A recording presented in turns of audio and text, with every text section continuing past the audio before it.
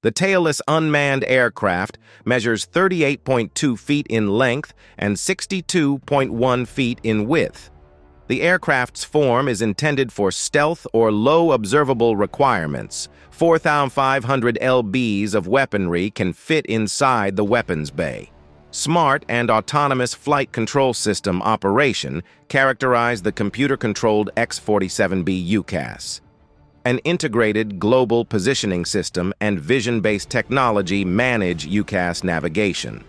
An operator is assigned to oversee the flight path's operations, which are pre-programmed.